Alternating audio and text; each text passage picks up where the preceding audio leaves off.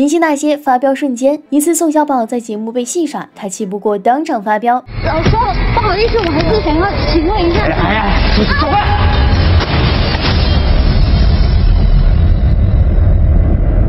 干嘛呢？你们干嘛呢呀？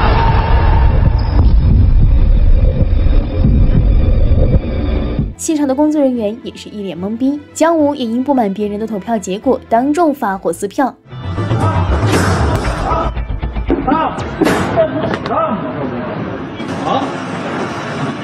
不不，爱什么话呀？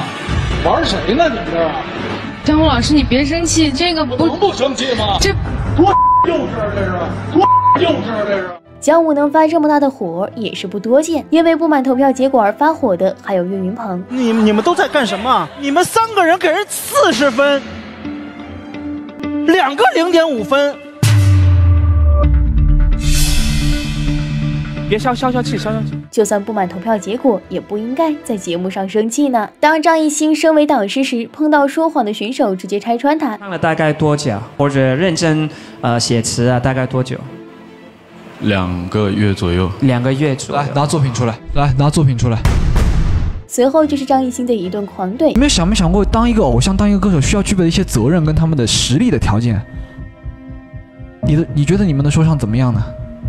我真的没有感觉到一点你们对舞台的热情跟对舞台的这个尊重，根本不会说唱的他直接愣住了。韩红当导师也碰过作假的选手，韩红知道后也忍不住了。我告诉你，在韩老师这里休想，我认的就是真实两个字。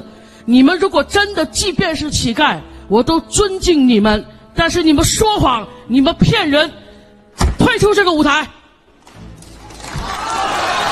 韩红老师发起火来，真是一点面子都没给他们。张绍刚就曾说魔术师都是骗子，撒贝宁可听不下去。但是你有权利在一个公共平台上，对着所有的观众去宣告一个人是骗子。我说过他是骗子吗？没说他是骗子。我谁说？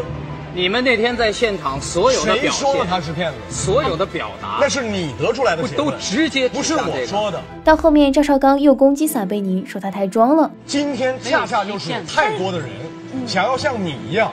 装公平，装公正。魔术这东西本来就是娱乐，真的假的有那么重要吗？